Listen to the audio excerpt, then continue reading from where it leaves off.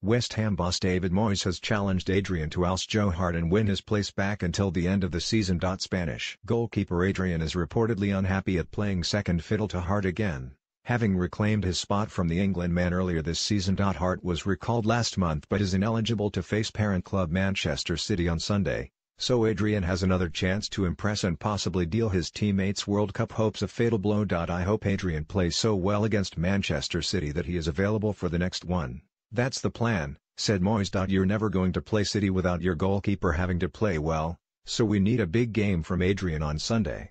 Then if you get in and you do well. Either way West Ham could be looking for two new goalkeepers next season, with Adrian not expected to accept being a backup and Hart's loan spell coming to an end, with no discussions held about keeping him on. There are certainly no talks about whether it's Adrian or Joe Hart or anybody because until we are in a position of safety, we won't be making any decisions like that added Moyes. So no, we've not discussed them. West Ham are still not safe from relegation but, despite having sealed the title, City showed they are not taking things easy after thumping Swansea 5-0 last weekend. I don't know if there is any good time to play Manchester City, the form they are in, the players they have got available and the quality of those players, said Moyes. But we have to play them all twice and we will do everything we can to give them a game, to make it as tough as we can.